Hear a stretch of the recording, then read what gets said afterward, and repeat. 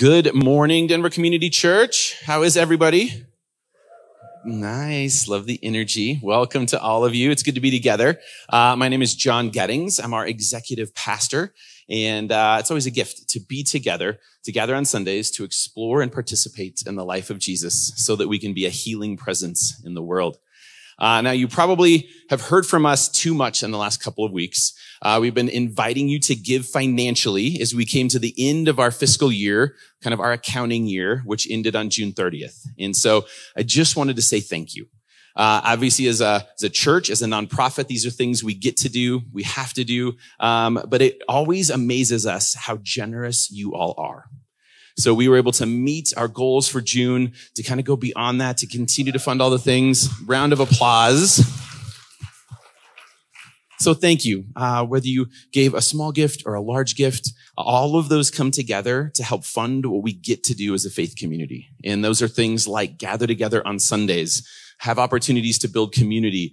All the 44 partners that we have locally and internationally, we get to help uh, give gifts to them, all because of your generosity. So thank you sincerely for investing yourself that way. And, uh, and then this morning, I just want to invite you to even greater participation in the life of our community. So maybe you're coming in this morning and you're wanting to build relationships. You're wanting to have spiritual partnerships of people that can invite and challenge you in your faith. Let us know about that. We want to be able to try to help connect you. Uh, maybe you're coming in and you want to meet some new people, but also serve. We have lots of opportunities to do that. One of which is in DCC Kids. Uh, we need 37 more folks to help get on the roster for this fall to help watch our littles, help teach uh, some of the older kids, and it's a gift to invest in the next generation in that way. So uh, if you're interested, you can let us know about that.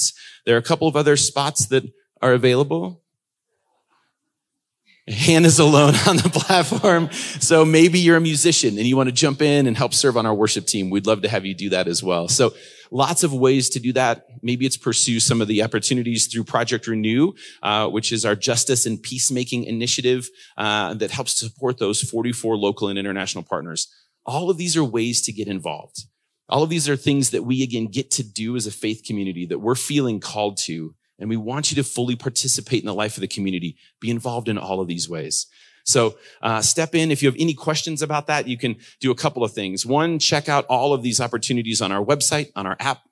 There's a card in that seat pocket in front of you that you can fill out. We'll get in touch with you this week with some of those. Or a few of us will be back in the participate area after this gathering. Would love to be able to uh, talk with you about all of those. Um, so let us know. Help us help you take some of those steps of investments and participation and involvement in the life of our community. And then uh, if you do put anything in an envelope or fill out a card, make sure you drop those in the silver gift boxes on that back wall on your way out, okay? Well, are we ready for worship? Would you stand now? We're going to enter into worship together. Thanks so much for being here. It's great to be together. My name is Amanda Lum. I'm one of the pastors on staff, and I'm excited this morning because I get to introduce our first guest teacher in our season of teaching where we invite some of our friends from across the city to come and teach on Sundays.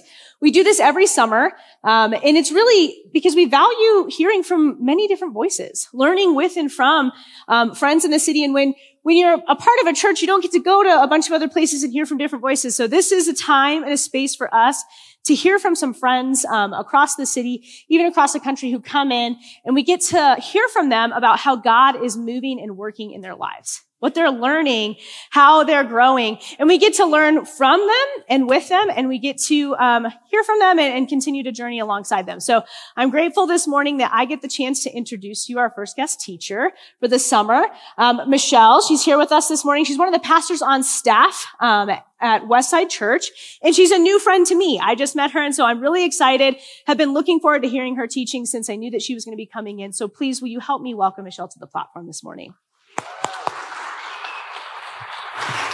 Thank you. Good morning, Denver Community Church. How are you doing? Good? I'm glad. I'm glad. I'm very excited to be here this morning to get to know everyone. I was mentioning earlier to Amanda, this is such a welcoming place. Um, such beautiful worship as well. And uh, I'm excited to be here. My name is Michelle Cazas. My full name, I'm Latina, so brace yourselves. My full name is Lily Michelle Cazas Machicao because you won't remember any of that. You can just call me Misha. All right. Um, just a little bit about me. I was born and raised in La Paz, Bolivia.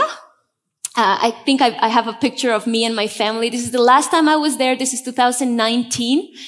I have two older brothers, my parents, and dozens and dozens of family members um, after that. And we, um, funny fact about where I come from, it's not the jungle, as a lot of people think, like you must come from a very warm place because it's Latin America. I come from a 14er. Our city is the highest capital in the world. So although we look very happy here, don't be fooled because we are struggling to breathe. and I moved in 2017 after God brought me here, talking about God on the move. Um, he brought me to the U.S. in a miraculous way to get my master's at Denver Seminary. I met my wonderful husband who's here today, got married in 2020. Um, I I uploaded, thank you, thank you. I uploaded uh, this picture because I wasn't sure he was going to make it. Uh, our car broke this morning, so he had to Uber here, but he made it. That's the latest picture that we have. Um, and yeah, I'm just very excited to be here. I'm excited to start the sermon series.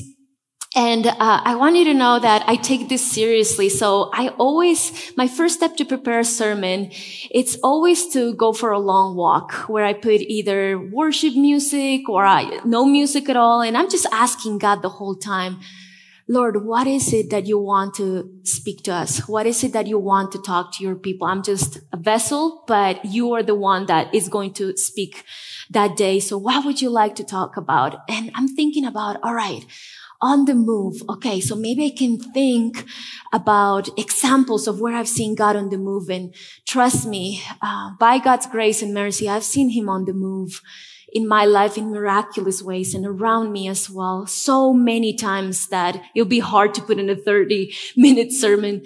So I'm thinking, all right, maybe I can start my sermon series with, do I see God moving? Do I think God is moving? And immediately the answer in my mind is like, duh, yes, he's moving.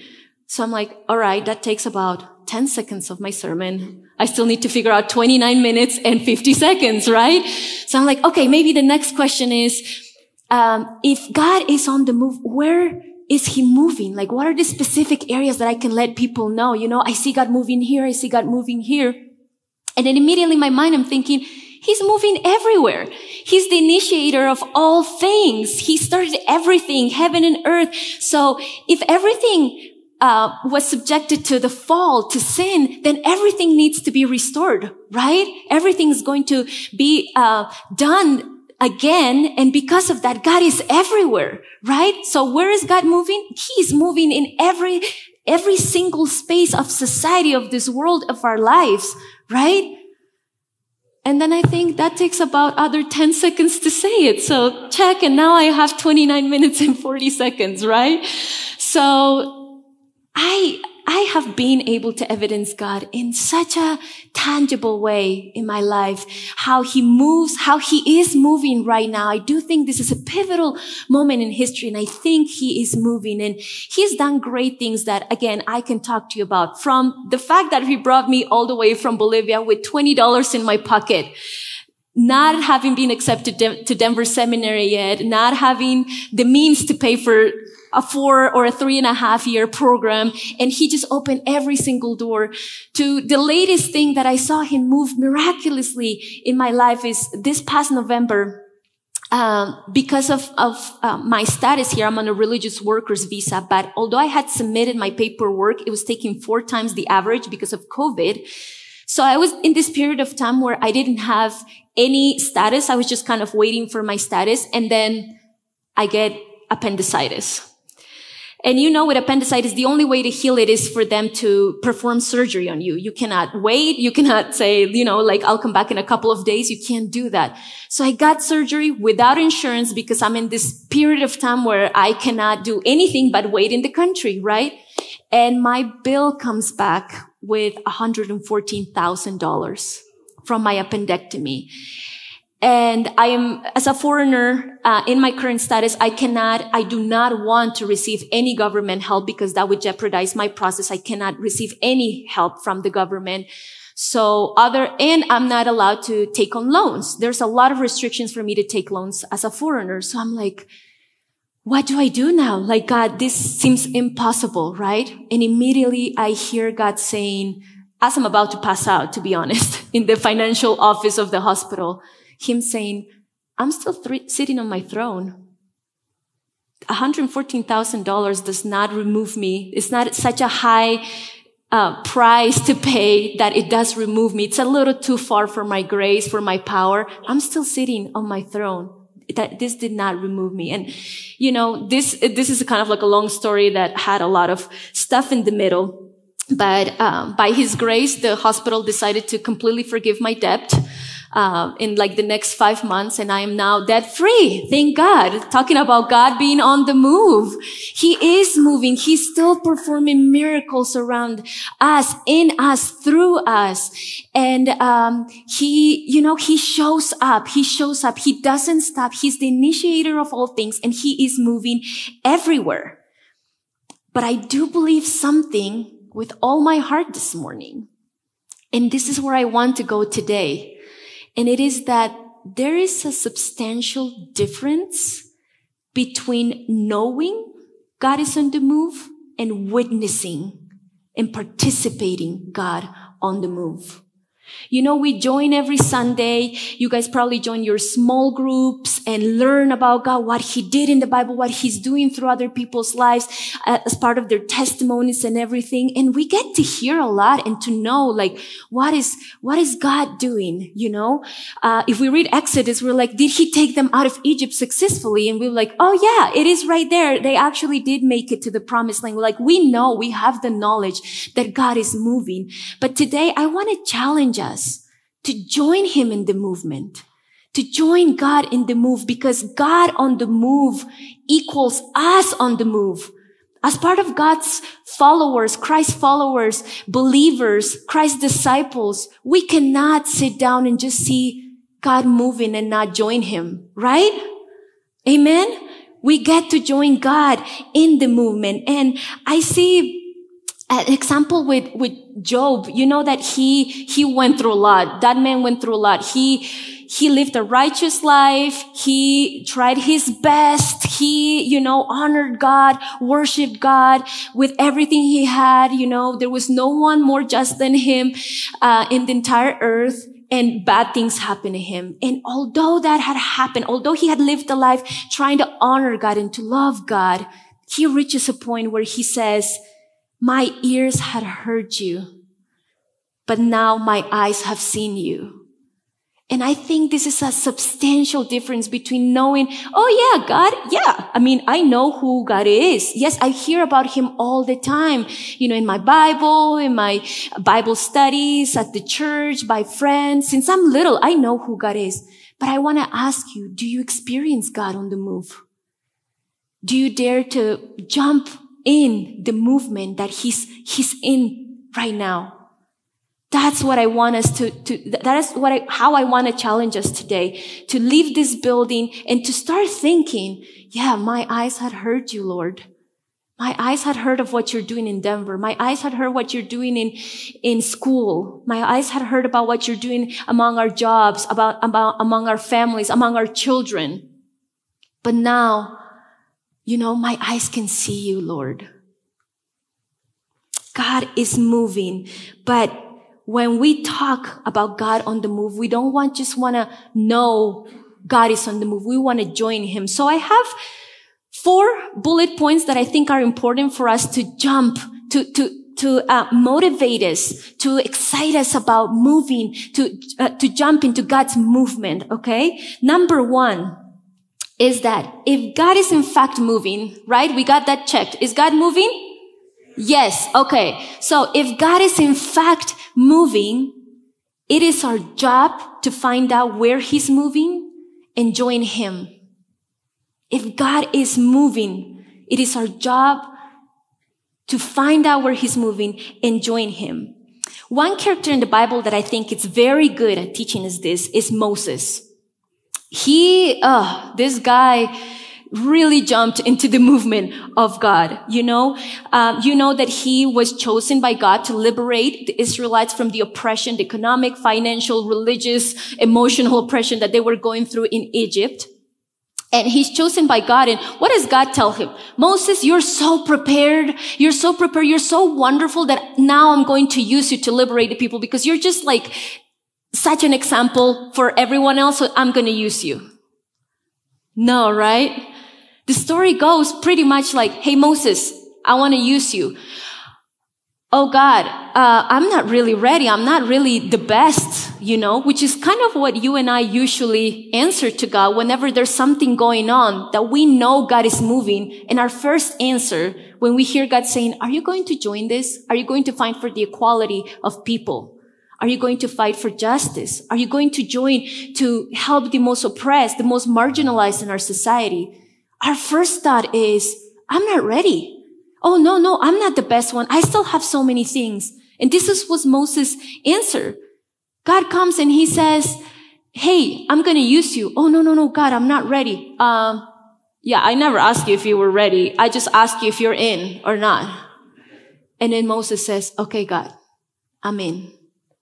And he's such a good example. There's such a distinct difference between him and the rest of Israel, the Israelites. There's such a huge difference. The other Israelites, what did they do? They complain the whole time. They actually would rather go back to their old ways than to join God's movement among them, right? They start saying Egypt was the best. No, it wasn't. You were pretty much oppressed. It was not the best. And many of us, Many of us would rather jump out of God's move than to wrestle with the difficulty of being inside God's movement. Sometimes it's so hard to be in God's move because the person next to you doesn't think the same way that you do because there's obstacles, because it's not easy. And we think this is too much. I need to jump out. And a lot of us act like the Israelites saying it's better to go back the old ways. It's better to just leave everything untouched and not say anything because it's more comfortable. And it's not. And we act like the Israelites a lot of the time. I think in the US, we have it so good, guys. I think we have such a, such a good place to be in. I'm a foreigner here, but just because my two feet are standing in American soil, I know I'm more privileged than 80% of the world. I have more resources than that 80% of the world. I have more freedom.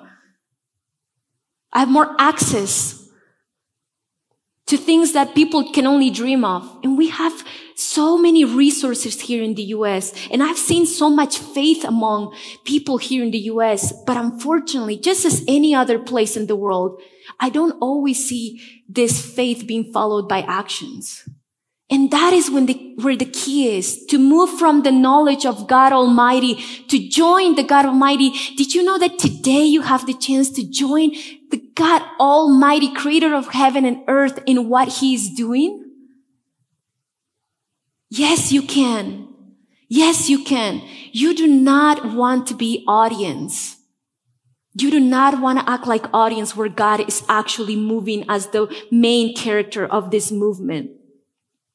Moses unfortunately has to witness that with his generation and he has to wait for an entire generation to pass away for this new generation to come up and actually believe in God's move.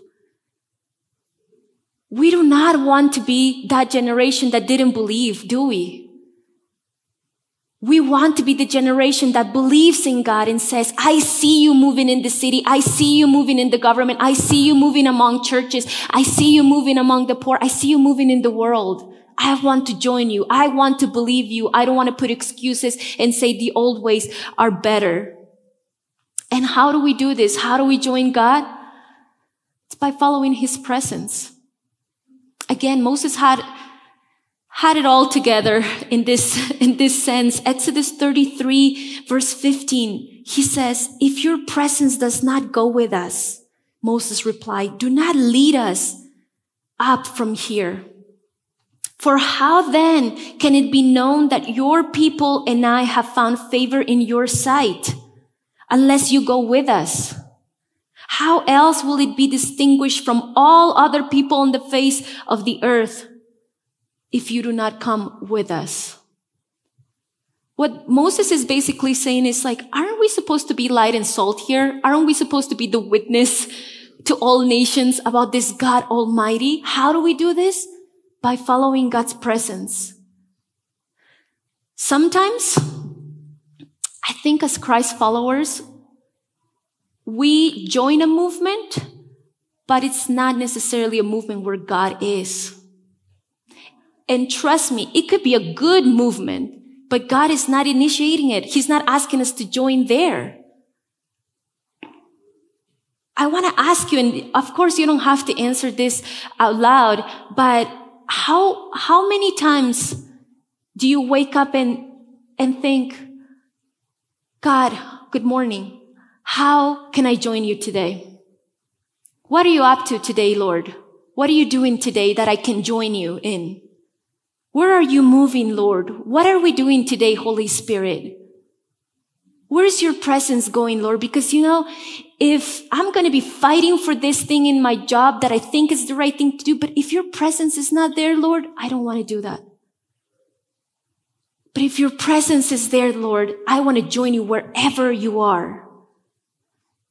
So again, number one, if God is in fact moving, it is our job to join him. It is our job to find out where he is moving and then join him. Not ask him to join what our agenda, not ask him to, to join our movement, our personal matters, but to join him.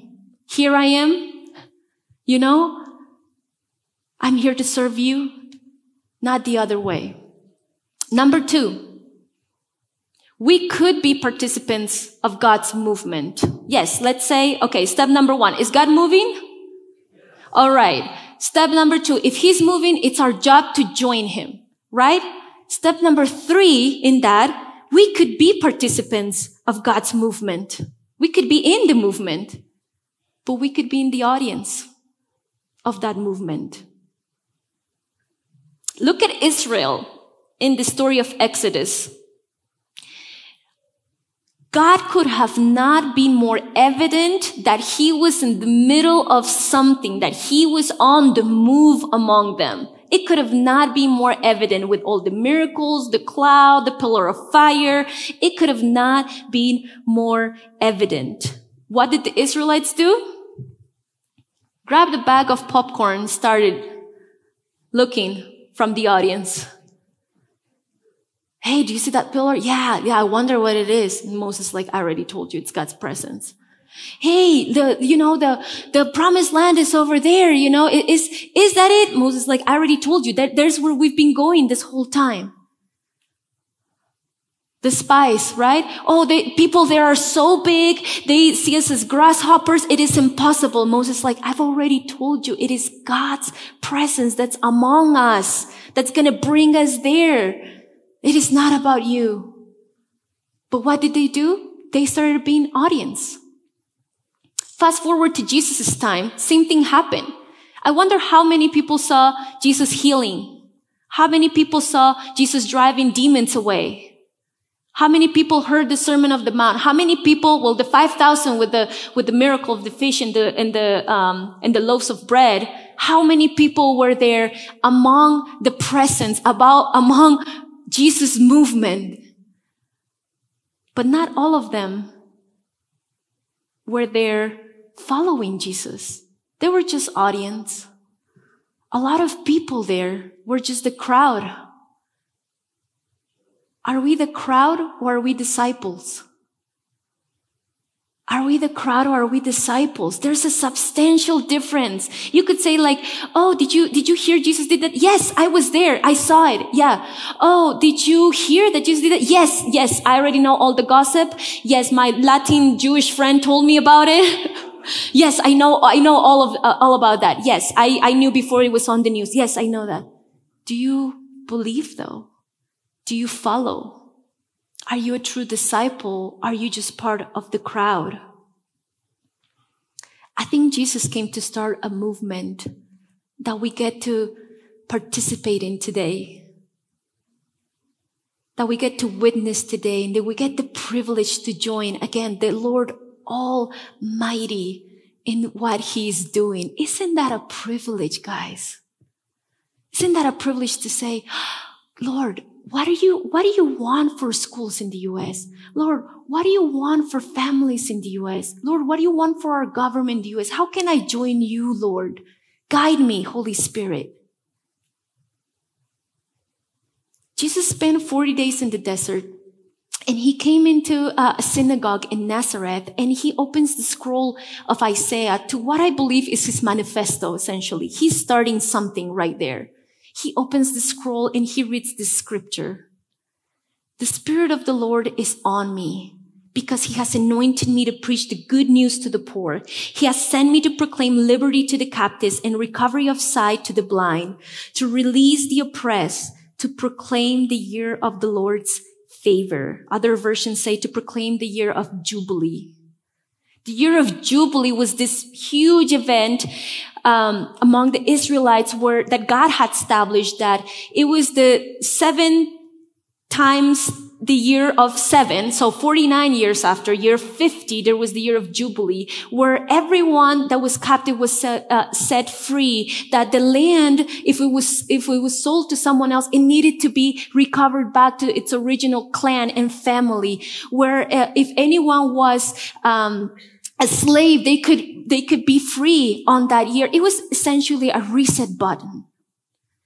And Jesus is saying, I have come to proclaim the year of the Jubilee.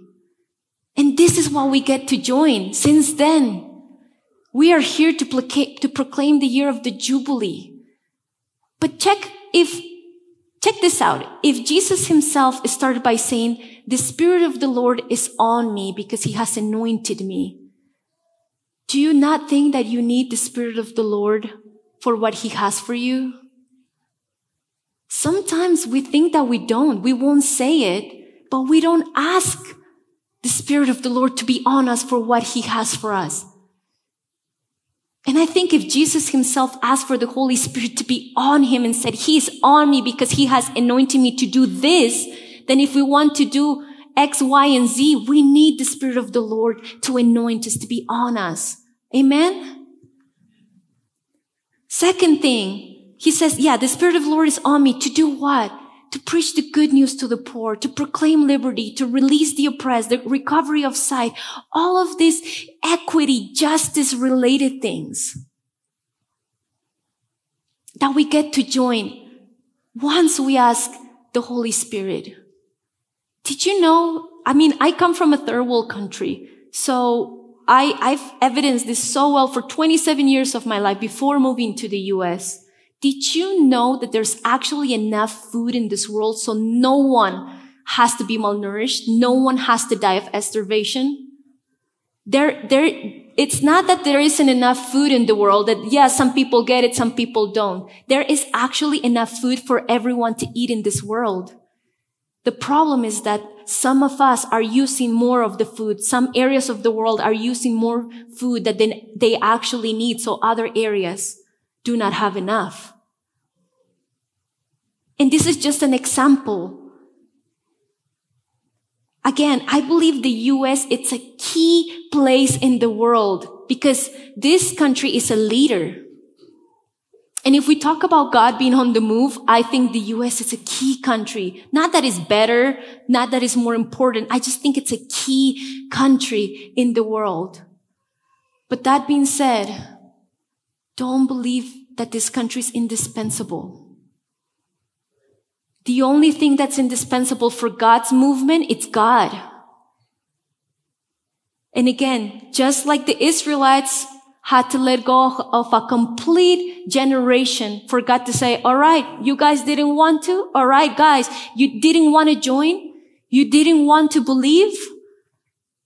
You wanted to be spectators. You wanted to be crowd. You wanted to be audience. All right. I'm going to have to wait for the next generation that will believe.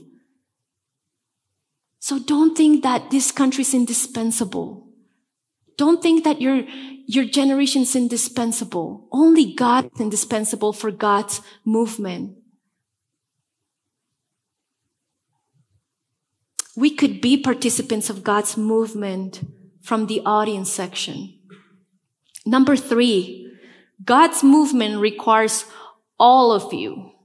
God's movement requires all of you. Never in the history of the world has people been so busy that there's no time for God in our agenda. Some of the things that I've seen here, I'm like, come on, you know, I mean, my country's an extreme because you could literally be like in the middle of a random day and call people and be like, Hey, do you want to grab something to? And they're like, yeah, see you in 10 minutes in this place. Perfect. You know, like everyone's available at all times. And here I've experienced the complete opposite. Like, you know, there's times that I'm like, Hey, you know, I'm actually not doing great. Or like, Hey, I have really big news. You know, I just want to meet with you. Like, and I can call or text a good friend and they're like, awesome. Yes. Tell me all about it. My next available time, it's like August 13 from 4.30 to 5.30, but I actually need to be somewhere else at 5.30. So how about 5.20 ish? And I'm like, by then, I'm not even going to remember what I was going through, whether it was happy or sad. People are so busy. And sometimes, sometimes it is the religious agenda as well that keeps us really busy. You know, the story of the Good Samaritan? Sometimes we are the religious leader that is too busy with the church agenda that we do not have time to meet justice issues, equity issues. Sometimes we do that as well. And the movement of God requires all of us. You know, Moses didn't tell God, okay, God, yes, you said you don't really need my ability. You only need yourself and you just need me to obey you. Great. So, you know, Egypt and the desert are not actually that far away. So how about I spend four days in the desert, three days back in Egypt. You know, we can do weekends. I can be like flexible hours. I can do three tens and then, you know, no, he doesn't say that. He says, okay, God, if you've called me, I'll go. I'll let, I'll let go of everything and I'll follow you. In the desert? Okay. In the desert. Where there's no water, food, evident on human eyes? Yeah. And sometimes God's movement seems like this dry, deserty field where we're like, if I join that, it's going to get really bad really fast. And it's going to be dry. It's going to be, you know, I'm going to be hungry. I'm going to be thirsty. And God says, but are you going to join me? He doesn't want part of us. He doesn't want half of us. He doesn't want us on the weekend. He doesn't want us just on Sunday morning. He wants all of us.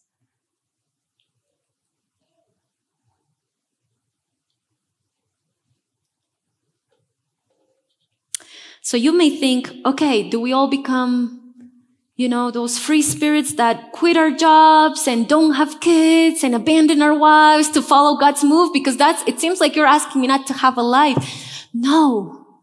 I mean, it is, it is exactly in the middle, in the midst of your life, of wherever you are. If you're a father, your kids are part of your movement.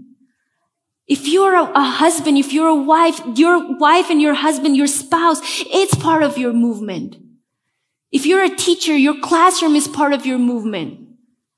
If you're a pastor, definitely your church is part of your movement. It is in the midst of that. Let's not compare, compartmentalize. Let's not do that. It is in the midst of that. It, all of you means all of what you have already in your plate. Sometimes when we say all of you, it's like, I cannot fit anything else in my agenda. No, it's everything that you already have on your plate. That's where your movement is. And yes, it is messy. And yes, there will be difference of opinions. In the U.S., really? I didn't think, I didn't see that coming. Yes, there will be difference of opinions. And sometimes our political party comes in second place. Sometimes our affiliation comes in second place. Sometimes our thoughts and our beliefs come in second place because God's gospel, his movement comes first. Not that the other things are not important or not existent, but they all are submitted to God's movement. And there will be differences. Check the people that Jesus picked for the movement he started.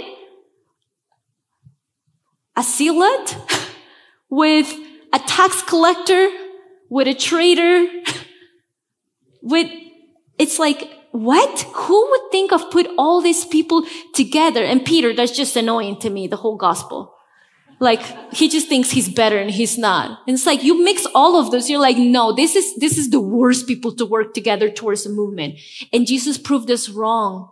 He proved that we do not need to be in the exact page of what we think or how we want to come about, but we do need to submit all those things if we want his kingdom to come and his will to be done on heaven as it is, on earth as it is in heaven, right?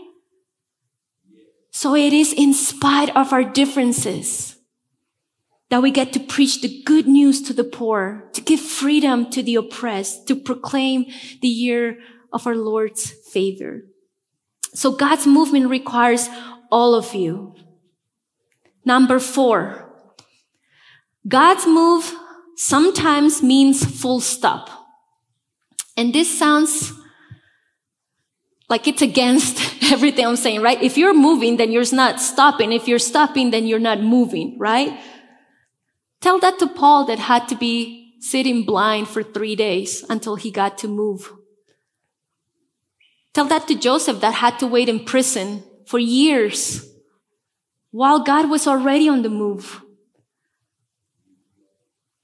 Tell that to David that for years after his anointing as the new king had to wait and still be the shepherd, the little brother, not so loved, not God, not daddy's favorite shepherd.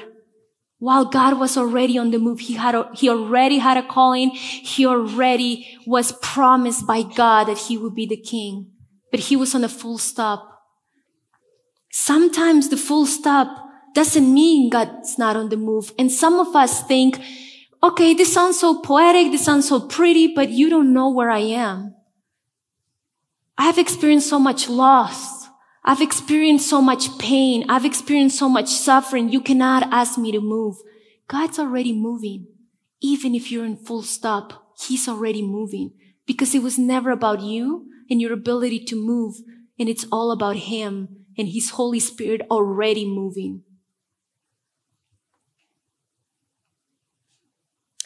Before coming to the US, I had a surgery that was supposed to leave me healing for like six weeks. And in six weeks, I was supposed to be back in the game. And I had a trip. I needed to go to India. I was going to be uh, the Bolivian representative in this missionary trip in India. I already had the tickets purchased. I already had the trip. I already had the itinerary and everything. And every single thing that could have gone wrong in my surgery went wrong to the point of I almost got both feet amputated because of a really bad infection. So instead of six weeks, it happened three and a half months later that I could barely stand up and I had to learn how to walk because I didn't even remember how to stand up after that long time just laying in bed.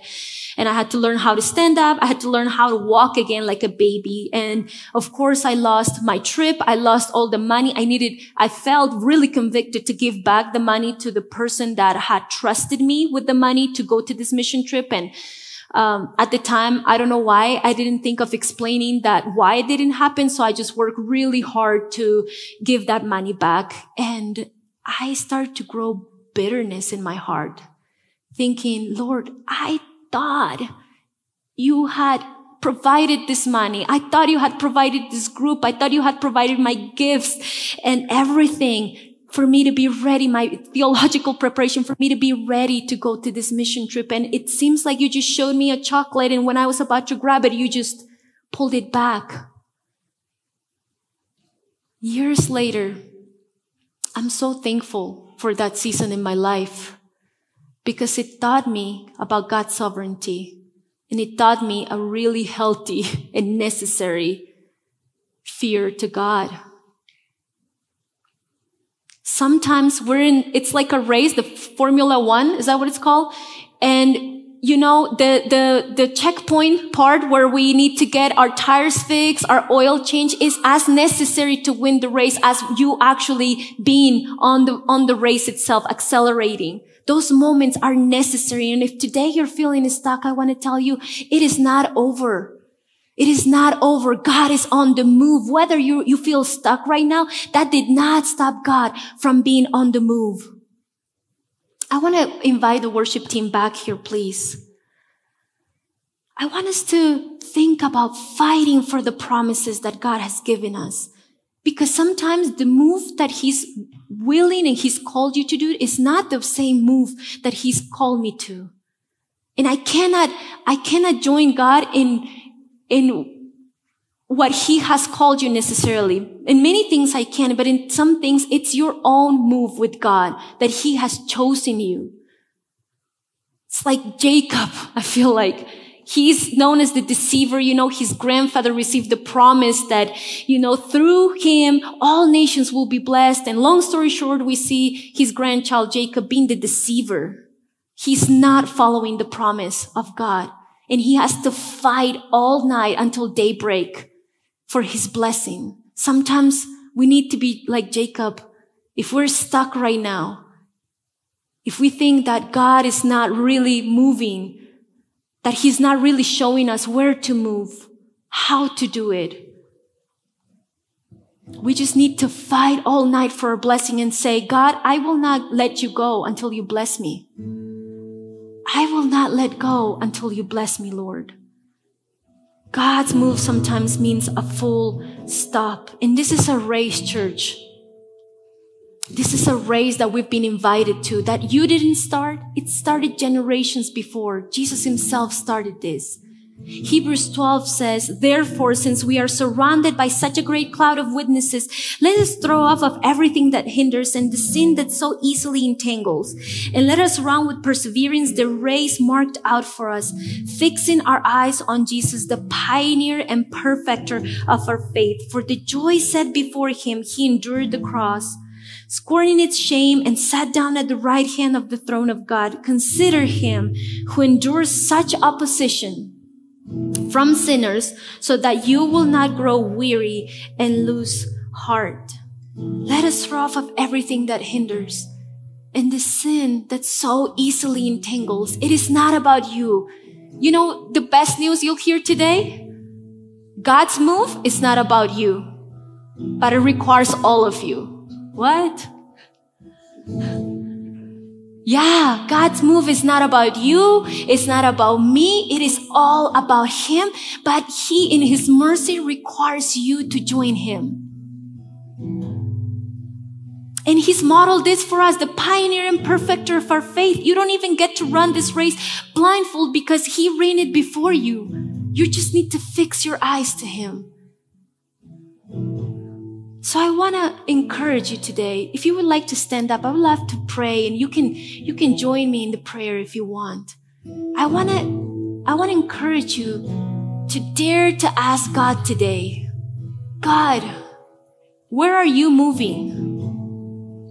Lord, what's the specific area that you are moving? That I can join you today, that you're calling us collectively, that you're calling us as a church, that you're calling us as a body, that you're calling my small group, that you're calling my family, that you're calling me in my job. You might be calling me individually, Lord. Where can I join you, Lord? Holy Spirit, where are you? Where can I join you today? What are those areas in society, in our city, in our world that I can join you today? For some of us, the world might, uh, God might be talking about pick up your stuff and you're moving to the other side of the world or the continent. For some of us, is hey, your movement is your kid right now because I'll use them. Ask God, ask God, Lord, how can me and my spouse honor you? How can we join the movement that you have for us? Dare to ask Him. Because God is moving. I've been asked this many times about the church where I am and the location where it is like, do you see God moving? I'm like, oh yeah, I do. But there's so much poverty. There's so many immigrants. There's so much going on, so much violence there. And I'm like, but I see Him moving. Big time. Dare to have faith and to join God in that. And it is my prayer today Denver Community Church, that you would leave this building understanding a little bit more of Job's um, comment saying, My ears had heard you, Lord, but now my eyes see you.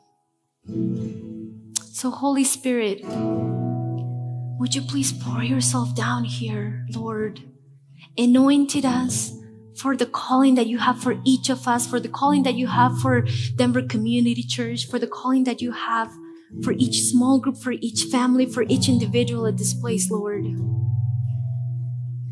Would you start equipping us, Lord? Whether it is that we need to start taking steps or we need to acknowledge that we're on a full stop right now. Lord, you never stop. Help us join our society. Help us join our city. Help us join this country. Help us join the world, Lord, to bring the good news to the poor, to set the oppressed free, to give sight to the blind, to declare the year of Jubilee.